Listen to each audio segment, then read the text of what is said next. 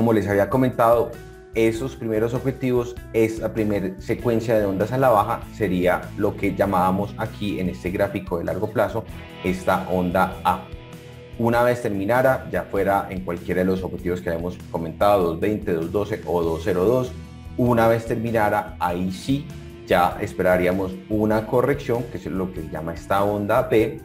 y ahora sí podemos enfocarnos en lo que sería esta onda B, que como les comento, en mi opinión, sería una corrección alcista dentro de la tendencia bajista que empezó desde febrero, que creo que todavía se va a mantener. Creo que este impulso alcista que empezó hoy, creo que se puede perdurar por lo menos hasta finales de la próxima semana, comienzos de la semana del 23, como mínimo 220 222, 90, 230, simplemente que en este caso esta fuerza o este impulso alcista se podría extender ya no solamente hasta esos niveles, sino posiblemente 235, 240 hacia la semana del 30 de mayo, pero en los dos escenarios esperaría que esto fuera una corrección y nuevamente reanudar la tendencia a la baja hacia finales de junio, comienzos de julio ir a buscar esos objetivos de 1.98. El mensaje principal es que esto yo no lo veo como el comienzo de, la, de una nueva tendencia alcista, sino simplemente como las etapas finales de esta corrección alcista y que estamos en la parte donde el mercado tiende, digamos, como a activar o a barrer esas órdenes de stop loss, naturalmente hacer que muchos participantes entren al mercado largos para luego simplemente retomar a la baja y de acuerdo a este escenario, mi expectativa sería entonces los objetivos de corto plazo. Yo pensaría que de aquí hacia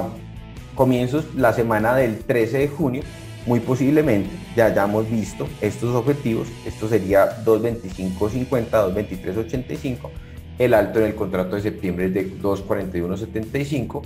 También el 2 de junio, ahí efectivamente, de acuerdo a este escenario, ya terminamos la corrección alcista que empezó desde el 10 de mayo. En este caso, el bajo del 10 de mayo fue de 202.40 en el contrato ya de septiembre y bajo esta interpretación de ondas, entonces ya estaríamos en la primer onda bajista para retomar la tendencia a la baja que como ustedes saben, en mi opinión, empezó desde febrero del 2022. Como les he comentado, la tendencia es a la baja. En este caso vemos aquí alcanzar estos objetivos que siguen intactos. Estos son los objetivos mínimos, 2.1350, 2.1085 como les digo y como les he planteado hacia aproximadamente mediados de julio. Y recordemos que estos son objetivos mínimos. Si llegara a extenderse el movimiento, que también en algún momento creo que este o esta tendencia bajista puede ganar aceleración a la baja, entonces los objetivos secundarios serían 20580 y 20360. Y si llegara de pronto a extenderse aún más, el tercer objetivo sería este de 19924